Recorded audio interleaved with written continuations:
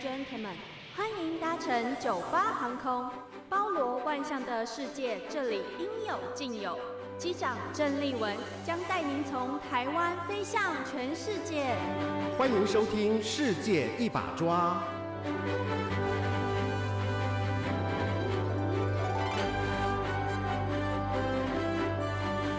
欢迎收听今天早上的节目，我是主持人郑丽文。我们在每个每隔礼拜四跟大家读《金刚经》，在上一次呢已经非常圆满的读完了哈。那在《金刚经》里头呢，陈勤富老师呢就一直跟我们讲呢，《金刚经》其实是挺深奥的，挺进阶。挺进阶的，就 佛三转法轮里头呢，算是很进阶的。所以说呢，讲到最后，其实。呃，都是要讲给要成佛的这种阶段的听了哈，所以它是很高阶的。那可是呢，大家如果说想要学佛的话呢，因为其实也像像达赖喇嘛都经常讲说，佛严呃佛法呢，严格说起来呢，它比较像是一种无神论的哲学啦，一种修身修心的方法哈，不一定是一个大家很。一般的宗教的一个概念哈，所以呢，呃，讲到这个原因，是要跟大家报告说呢，像陈勤富老师一直有在讲，就是说，所以在进入呃初阶的时候呢，前面其实要先有一些修行，那你再来读《金刚经》的时候，你的理解跟意境就会又不一样。那前面的修行很重要的一块呢，其实是禅修哦。那么在尤其是在中国，在华语的世界，我们都非常。从小到大都有听过禅修，可是真正有去做禅修的人呢，并不是这么的普遍。现在越来越多了啦，哈。那到底什么是禅修？怎么样禅修呢？所以，我们接下来呢的这三个礼拜，呃，每隔周的星期四，我们还是继续为大家请到陈勤富老师哦，来跟大家说明一下，到底禅修、禅修、禅修，什么是禅修？怎么禅修？所以现场再次的为大家请到了陈勤富老师，清富早。是呃，立文早，各位听众朋友，大家早安。哎，我最近在跑选举哈。很多人跟我说他有听《金刚经》耶，我很开心呢。哦，对我碰到很多朋友也也说在这个广播电台里面有听到，而且我我这个礼拜一有访问到一个台北市非常厉害的里长方和生里长，他做了很多就是很感人的事情，他真的很伟大。他也跟我讲说他礼拜四都在听我们《金刚经》哎，所以呢，好。大家听了《金刚经》之后呢，可能要回过头来做很多的基本的修行。那么这就跟禅修有关了，是不是？一开始就先请陈勤富老师啊来告诉我们说，到底什么是禅修啊？在佛法里头，禅修到底是？所以。佛也有亲自的教弟子说怎么禅修就对了，是是，对佛陀呢，其实在这个初转法轮了哈。我们上次有讲到所谓的我们大圣佛法里面讲到心经跟金刚经呢，这些都是佛陀在二转法轮讲空性的时候啊，才开始说的。因为我们大圣佛度呢，就是比较喜欢讲菩萨道啊，所以就是希望大家能够呃从菩萨道入手，所以都是从。二转法轮的经典入手，所以这样的话就比较会有一点没有基础，然后就开始学进阶班，就会学的比较浮。那事实上，佛陀在初转法轮的时候啊，就是讲这个四圣地啊、十二因缘啊，在这个呃初转法轮的时候呢，我们大概把它分为那个是解脱道。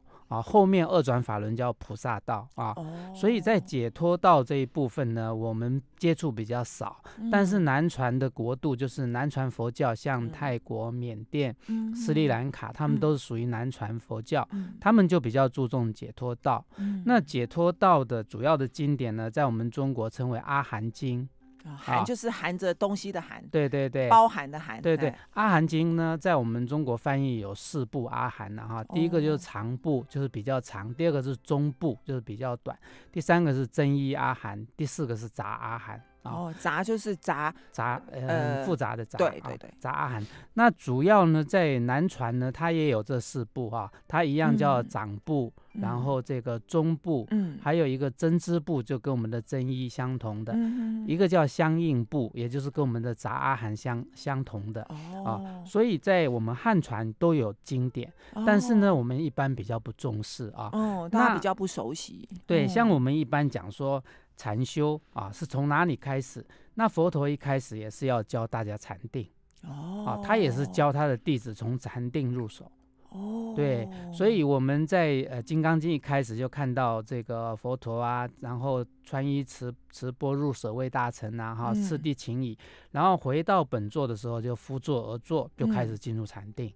啊，哦，通常他们去外面托钵回来之后呢，不管这些弟子，你找一个空地，或者是树下，嗯。或者是林间哪里，自己找个地方就禅定。哦，所以禅定非常重要，在佛陀的这个教法里面啊，那所以佛陀一开始教他弟子的时候，是有教大家如何修禅定的。对对对，哦，所以佛陀的很多弟子都修到阿罗汉，都是透过禅定。嗯啊所以像南传呢，呃，像我们要介绍让大家知道怎么样修禅定的方法啊，主要嗯是透过呃佛陀所教的这个安那班那念啊。嗯安那班那念呢，就是叫做我们叫做出入息，那翻译成现代很多书本就把它翻译成观呼吸。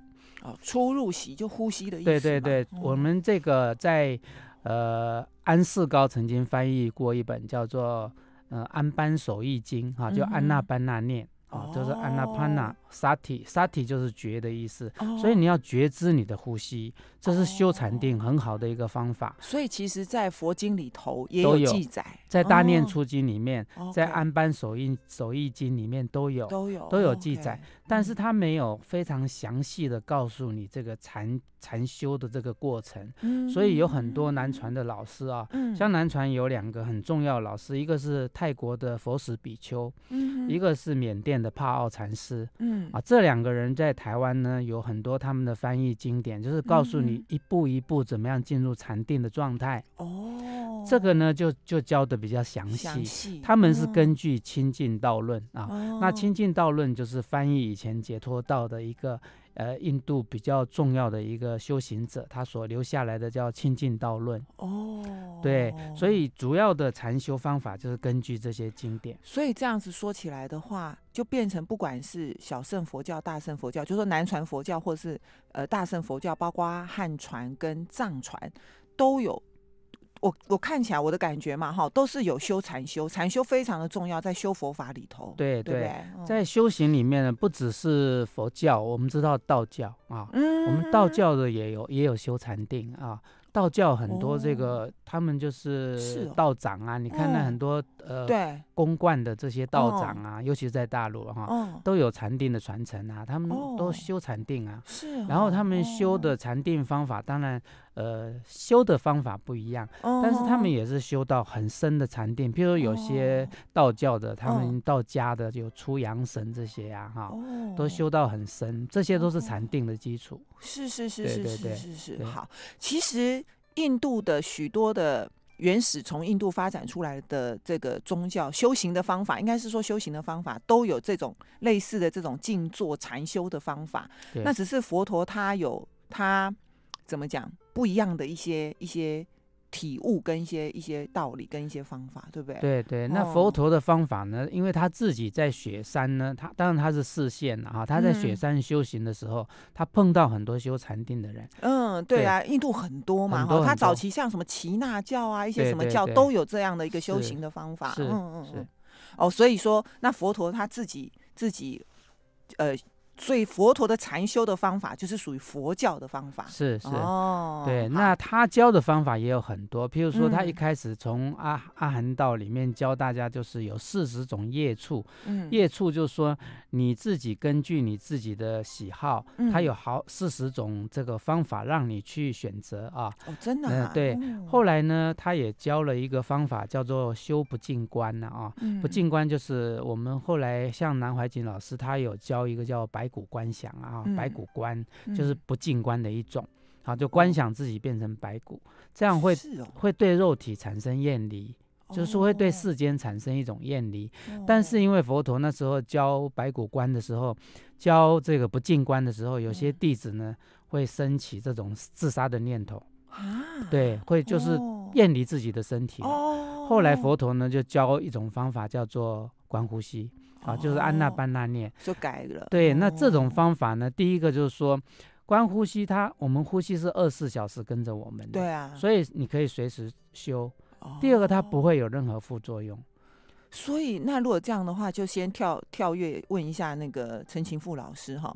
所以像什么我们说禅坐啊。打坐，打坐其实就是我们平常俗称的这种跟禅修有关的吧，哈，打坐什么之类的哈。那为什么大家都会担心会有走火入魔这件事情啊？是不是跟你刚刚讲的这个有关呢？呃，有时候就是因为我们的念头哈会受到这个你你的方法的影响。好，所以有时候自己的思想会受到改变。嗯，对。当然，我们不希望往比较负面，像刚才呃讲到不进观会产生对身体的厌离，甚至会有自杀的念头。哦。啊，那这可能就是后来佛陀就改变了嘛。哦。啊，所以有些人走火入魔，是因为他在修这个气脉的时候呢，那个有时候气会乱走啊。哈。嗯。我们道家常常讲这个走火入魔，是指这一部分。哦，啊，那佛家呢，一般呢认为说，像你按照佛陀修行的这种方法来打坐，是比较不会有走火入魔的这种情况啊。因为，呃，在佛法里面，他讲到所有的这种魔呢，其实都是你的心魔，心魔都是你的心魔，都是来自于你自己的妄念。嗯，所以打坐的时候呢，不要针对那些妄念或者是一些想法，嗯，去追逐它，就不会有这种走火入魔的情况。哦，是哦，对对，哦，所以我们就觉得，对不对？从小看武侠小说，或者是看武侠片，就想要走火入魔，走火入魔到底是什么意思啊？而且为什么禅禅修打坐会走火入魔啊？因为很多人呢，他自己先存了一个念头，譬如说。他总觉得说，呃，半夜打坐不好，半夜打坐呢会走火入魔，所以等到他半夜打坐的时候，他怀着这个念头，就一直想着这件事，自己就会心里就会起一些很奇怪的念头，就会有这些怪现象出现，其实都是自己的问题啦。对呀，我想说，为什么坐在那里呼吸会有走火入魔，是觉得很奇怪。好，那所以不要不要一直往这方面去想啊。对 对对。啊，还有一个，那那我就再问一下，先先随便问一下哈，老师待待会再正式教我们哈。然后，所以有些人禅坐的时候会出现一些。嗯，什么叫做什么灵动的现象？对，灵动气动呢，其实是很正正常的现象了啊。就好像很多人在教这个打拳的时候，叫你气动啊，什么用发什么气功，呃，先天气功啊，什么之类的，就是你的灵动嘛啊。其实，在我们的呃这个打坐里面呢，就是很多人上座之后啊，他会身体会摇动啊，这是很正常的现象。那你要你要怎么讲？你要不让他摇吗？还是随便他摇？通常我们呢，这个禅定是不不准你摇的啊。哦，真的。呃，但，不要你摇，很简单，你只要在心里告诉自己停，它一定停。真的，对，这都是自己念头在启动。哎呀，所以说就是真的有人禅定之后就忽然自己动起来，那自己不会吓一跳？他他自己会知道自己怎么会会在动。对，哎，我怎么摇了起来这样子吼？对，会有时候他摇的时候呢，呃，第一个是在调整他自己的那个自身体啊，就是说他的身体平常有一点，譬如说侧歪呀或什么，对对对，他会摇一摇，是哦，然后让自己做的比较。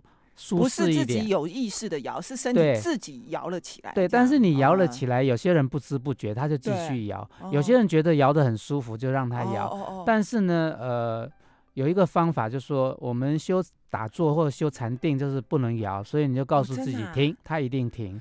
这是灵动，这是气动。好，那还有一种灵动。好奇宝宝开始要问，哎，我还有听过。而且我还是有认识的人哦，会浮起来，真的会浮起来哦，不会浮起来哦，真的是自己想的啦，自己认为自己浮起来，要浮起来不容易，因为有地心引力，还有人有重量。对啊，怎么浮起来？真的有人浮起来？你有看过吗？没有特别的功能是浮不起来的啊，这都自己的想法。对不起，那还有，我忽然间想到，还有原地打转，真的三百六十度打转的。有有有，这都有。还有些像我在禅堂里面一开始的时候，有些新进来的人，他。他那个灵动会站起来自己做关公，甚至于会打拳。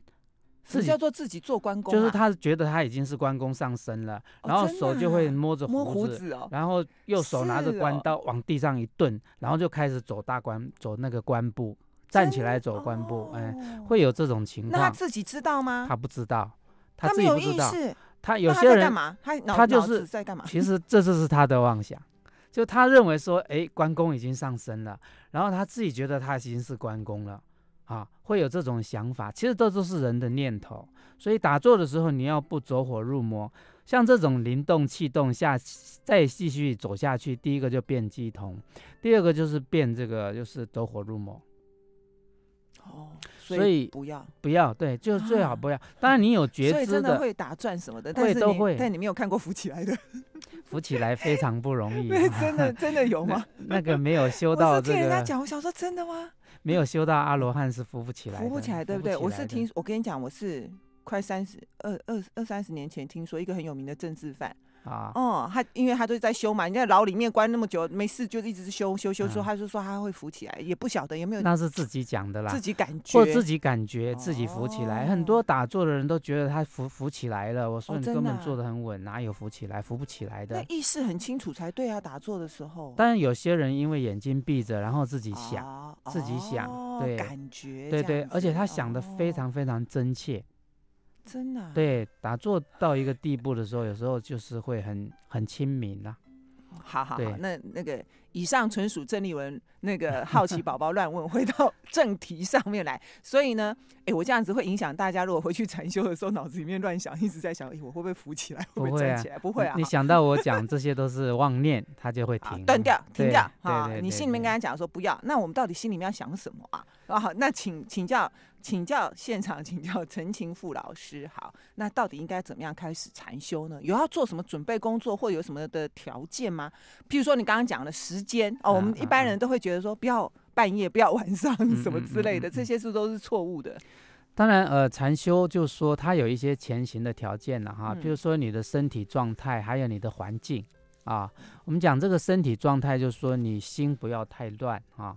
像很多人他根本就坐不下来，他一坐下来就马上要站起来，因为他觉得他很多事情没办法，就说他的心很浮，静不下来、嗯啊。你要强制他坐，他坐不住。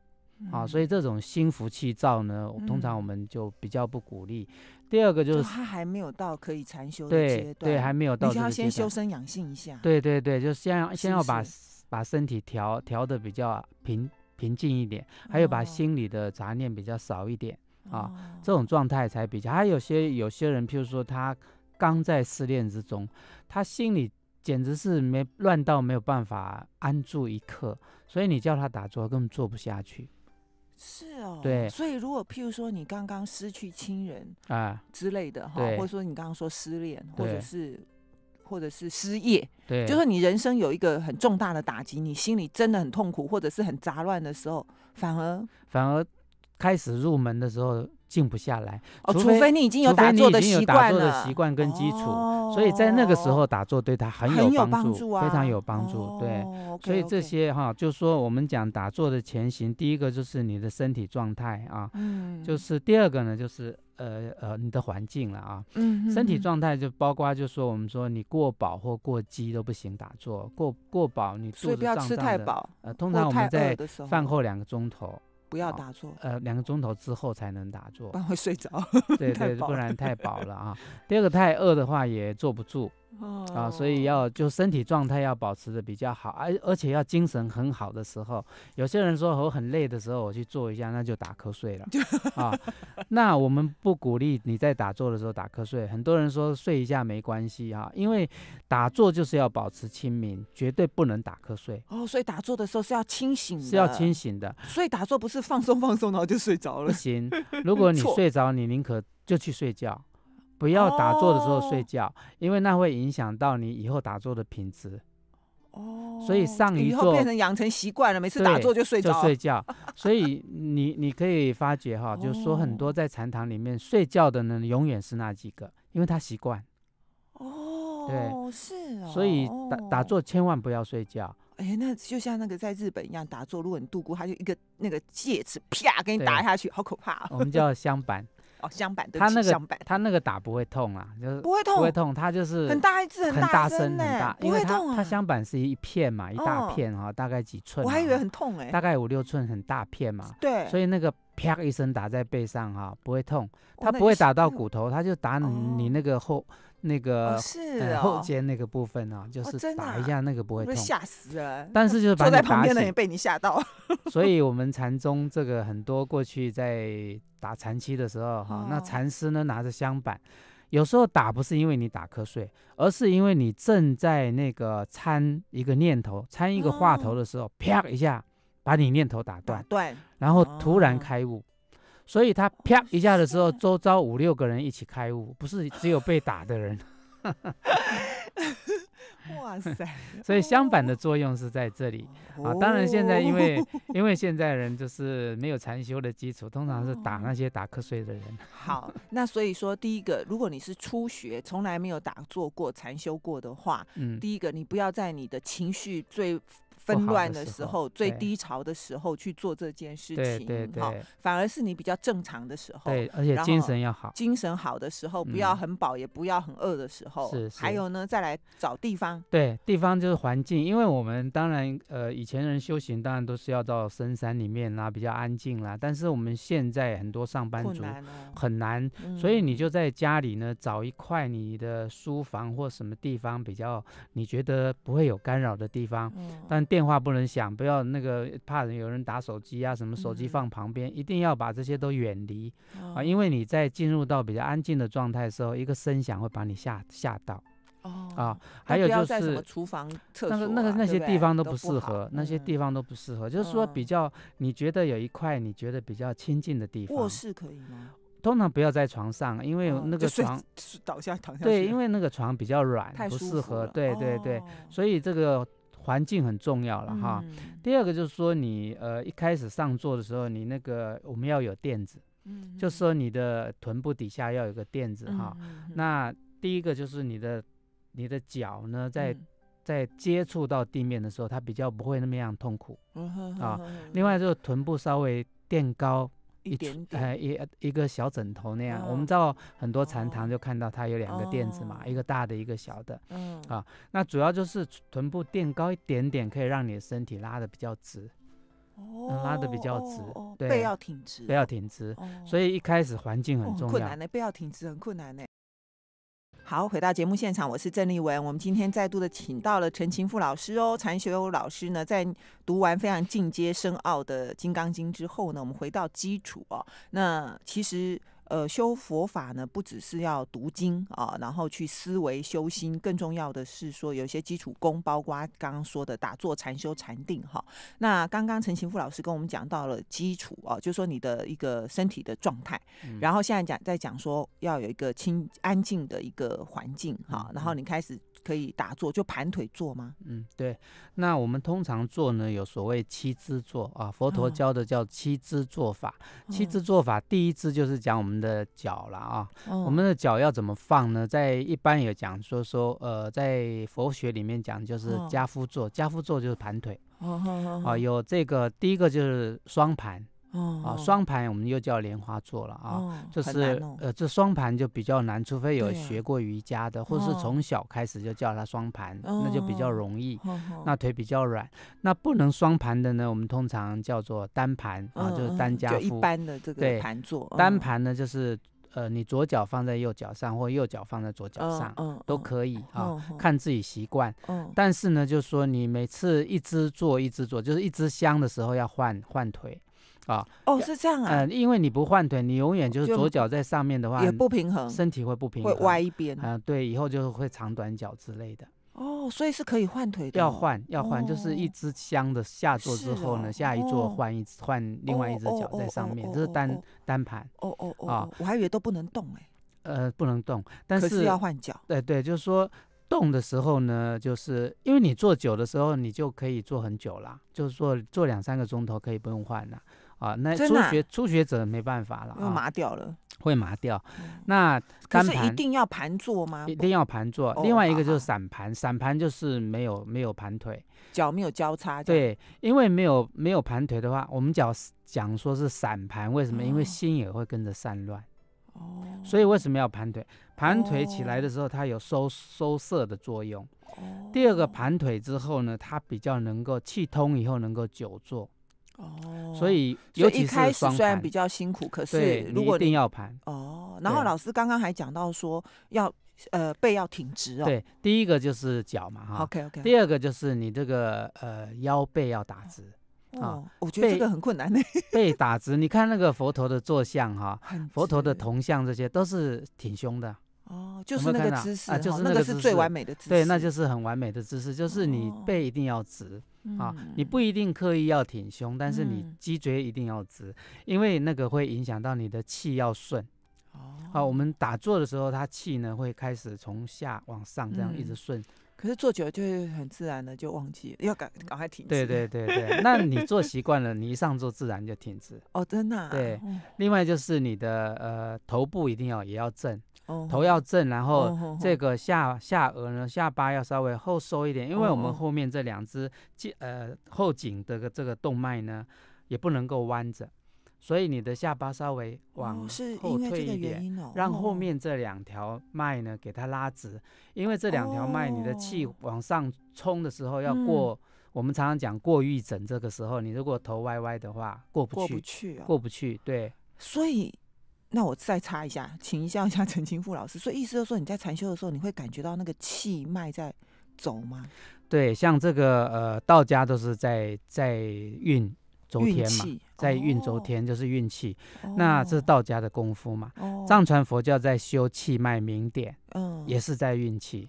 哦，所以这些姿势就有影响，有影响。但是呢，呃像我们大乘佛教哈，或者哦是小乘的禅定，它不讲气脉，哦因为因为大圣小圣呢，到最后都要讲到身空嘛，身都不不重要，都连我这个都是假的，他怎么会去玩气脉？他不去玩气脉，他只关注在这个哦身心。哦但是他在打坐的时候呢，像南怀瑾老师就讲，打坐是最大的气功，最高的气功，所以是哦，呃，所以他根本不哦去讲它。像我们一般。哦呃修南传禅定或者是汉传禅定的人都不会嗯去讲气，哦，但是自然而然就会这样 OK 好在，里面所以呃下巴要萎缩，这样后面颈部的那个呃动脉它才会拉直。对，对对对。嗯另外就是眼睛到底要不要闭？对啊，眼睛到底要不要闭啊？对呃一般呢就是说可以微张啊，哦就是你开的时候不要开大大，对，稍微违章。你看现在很多那个佛像有没有？嗯它那个垂垂讲垂眉眉低低低眉垂目哈，嗯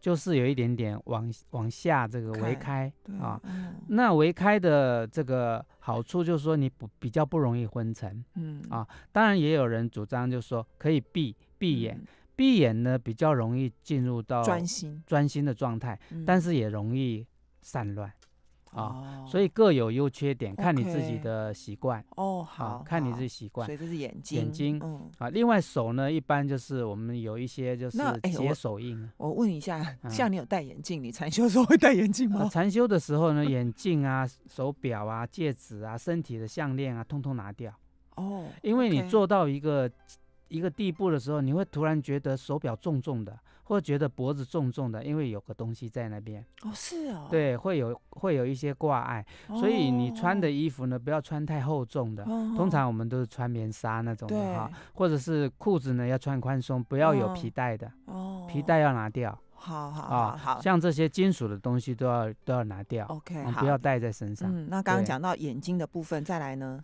那差不多这个呃身肢肢体的状态，嗯七肢就差不多这个样子哈。哦，那接着呢，一一开始你上座的时候，第一个要领就是要放松，嗯。一定要放松。嗯。然后我们放松的要领可以从外面哈，就是嗯。说从头部一直观想到你的脚部嗯。啊，譬如说你从头发开始，告诉自己头发放松，啊，头皮放松，哦。然后额头放松，哦。眉毛放松，脸颊放松，耳朵放松，鼻子放松，嘴巴放松，下巴放松，啊，下颚放松，颈部放松，肩部放松，一步一步一直到脚部，哦啊，这是外部。接着呢，你要从内部放松，就是你的脑袋嗯啊，脑袋放松，你的视神经放松。耳神经放松，一直到你的内脏、心脏啊、哦胃，因为我们很多人在日常生活中呢，肩膀耸着，对对对，胃提着，对，其实你自己不自觉，哎可是其实你在紧张的状态，在紧张状态，嗯。因为我们人只要有念头，就在一种警觉的状态，哦。所以那种警觉的状态就会把你的胃提着，把你的肩耸着，哦，所以我们人常常会腰酸背痛这些东西。，打坐的时候呢，就是从内从外到内，嗯五脏六腑通通要让它放松，哦，自己告诉自己一遍，走一遍，嗯然后放松嗯啊。那放松之后呢，就是先这个静一下子，让自己静一下子。安静一下，对，安静一下子，再再调一下呼吸嗯啊。调完呼吸之后呢，我们才开始用这个安那安那班那念的方法，才开始真的要才开始真的进入到禅坐的对禅坐哦我们禅坐的方法就是用观呼吸。观呼吸，观呼吸的意思就是数自己的呼吸哦。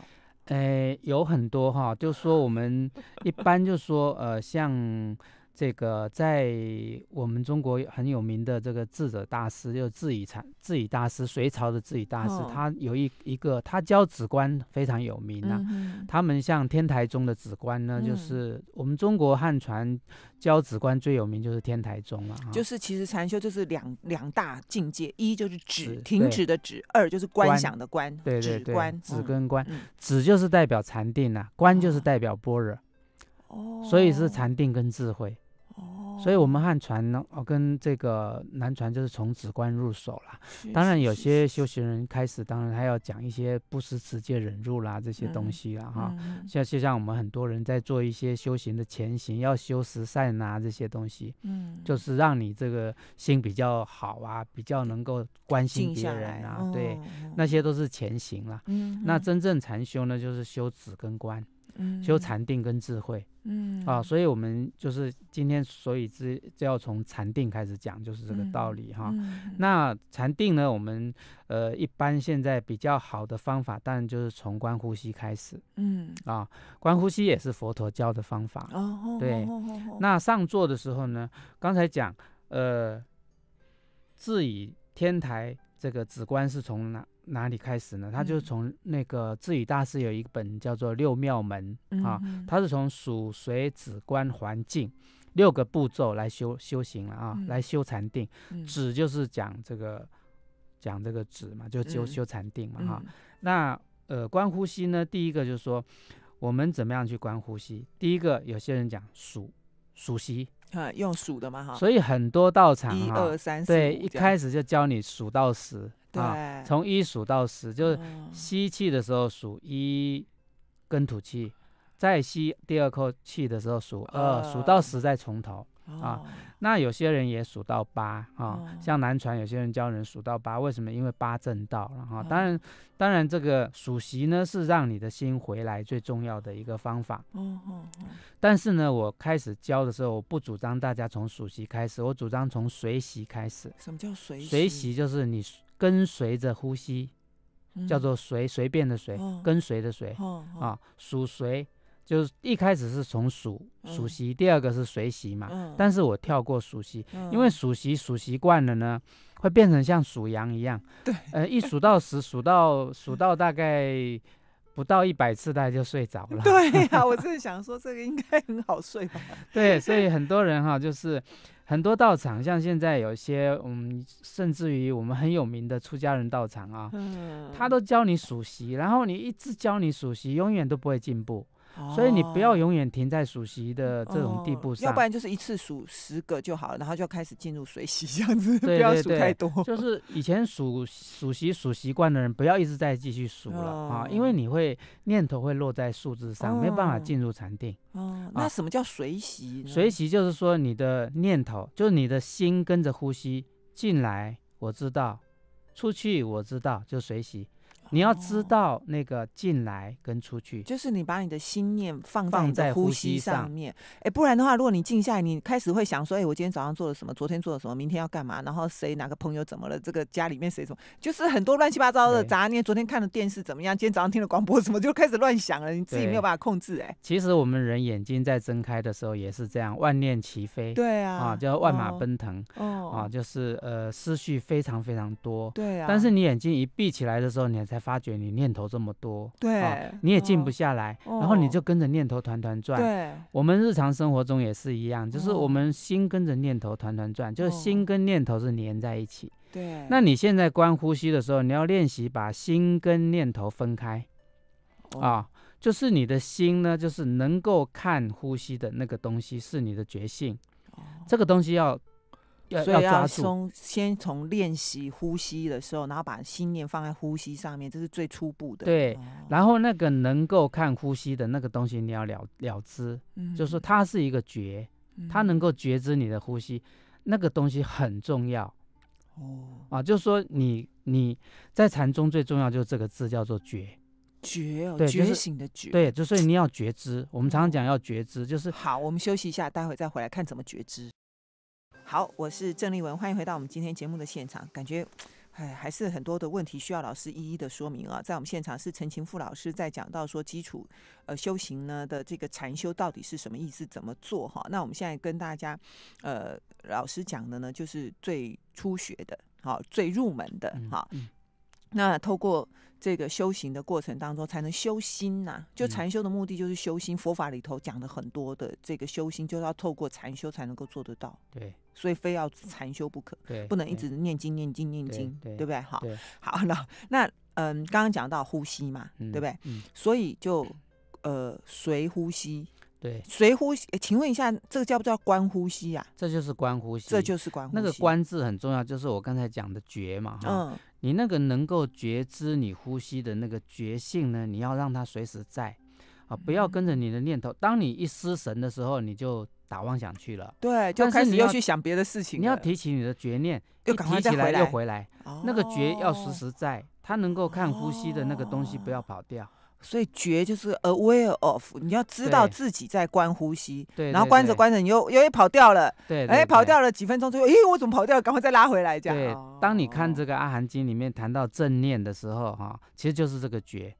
正念就是 awareness，就是 aware 啊，就是 be aware，就是随时保持觉知啊。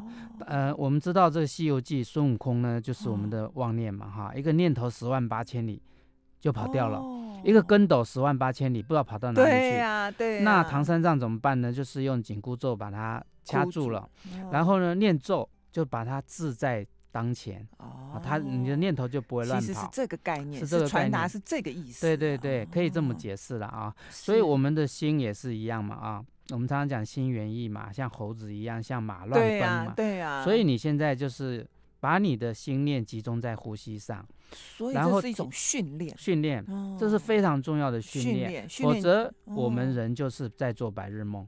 所以你训练久了之后，你是可以感觉得到你专注的时间会越来越长。。对哦。你刚才讲专注，其实就是觉啦。一般哦人把它当当专注，但专哦注跟觉是不一样的。对，因为专注还可能有妄念，还哦可能心连在妄念上就。专注在错误的地方上对。对对对，会专注，但是觉不一样，觉是非常清楚的第三个旁观者，哦，啊。有时候专注变成是一种偏执、对执着了。他他也粘在上面哦。啊，但是觉它是脱离的，好，那请问一下老师，在这样子观，因为这是初步嘛，哈，我们嗯。从这个这个东西就要练很久了，就要练好一阵子，对不对？那第一一开始做的时候，有没有规定说非要做多久不可？呃，做呢一开始上座的人大概做十分钟就受不了，了，对啊，脚就受不了了啊，脚受不了呢，呃，就说哦。你可以换脚啊，你哦还能做你就换脚，所以一开始时间短没有关系，没有关系你再慢慢慢慢把它拉长对就好了。对对哦那十分钟是初学者，然后呢再嗯进入下一阶大概就三十分钟。嗯啊，他在做到三十分钟的时候，腿就会受不住，嗯，就是不是非常麻就非常痛嗯，啊。那麻跟痛呢，这是必然的，嗯，但是呢，就是说，呃，我如果你还有这个觉的能力很强的话，刚才讲觉，嗯，你就看着他痛啊嗯，脚痛他的心不痛啊，那他就会忍过去。那忍过去以后呢，他气会突然会通过去，好像一个电流这样，诶，突然一通过去以后，哦，你的腿就完全不麻，就好像你又刚上座一样，所以虽然你没有动它，没有动它。真的啊对那个时候呢，你又可以做到五十分钟啊，到了五十分哦钟到一个钟头，又是个关卡。那你哦再看看自己能不能忍，能忍的话，忍一忍，气脉又通过去。哦，哎，老师，所以刚刚呃漏掉了一个，就是说，所以一天二十四小时里头随时都可以，但就是你刚刚讲避免吃饱的时候或很饿的时候，或精神不好的时候，或精神不好，如果因为半夜不是因为半夜黑夜的关系，而是因为你可能很想睡觉这样子，对对所以不要。如果说你半夜精神很好，像呃南怀瑾老师的那个书里面啊，就哦是他有提到，就是子午时，就是半夜的时候，哦其实是很好的。哦，真的啊、因为特别安静啊，比较少干扰，比较不会有人打电话按门铃啊什么的。对对对，那个时候呢，哦如果说你的心很安静，然后你的呃意识很清明，就是不想睡觉，那个时候是可以的，很好的因为有时候家里面，因为大家家里也没几平嘛，呃又有有家人什么的，你要找一个安静的时间，别人不会干扰你。其实有时候不不不容易。对，那你也可以。等到家人都睡觉了以后，那你自己做个半个小时这样子。对对对，像很多那个出家众，他们有时候半夜很早，有些两点、三点、四点都起来开始打坐。是有些哦道场规定两点起来，有些规定四点起来。就是打坐哦对，哦那像道家呢，他比较重视这个跟外界时辰的一种互动。他们认为说阴阳交替，譬如说黎明的时候跟黄昏的时候，阴阳交替的时间，那个气场最强，是好所以还是不好？非常好，所以哦道家就喜欢那个时候。哦，反而喜欢那个喜欢那个时候，还是初学者不要那个时候，因为太强受不了。没有嗯也不会啦，就是嗯、就是对初学者来讲，我们是建议精神非常好的时候精神，非常好的。对对对，你做个五嗯分钟、十分钟就没有关系，嗯慢慢养成习惯嘛哈。嗯通常我们讲这个，呃，喝喝那个酒酒鬼呢，一开始都是喝喝几 CC 嘛，嗯越喝越多，半杯一杯，然后每天喝，喝到最后他就变酒鬼了嘛。哦那你学禅也是一样，五分钟、十分钟、一个钟头、一天、两天，你就变禅鬼所。以一开，所以一开始的时候，其实你就给自己设定一个，譬如说十分钟、十五分钟这样子。对时间到了就到了。对，啊，但是、时间到了就到了吗？就到了，有没有一个什么结束的仪式啊？还是就到了就到了，就这样？呃，到了当然就是说你要按摩，起坐的时候要按摩，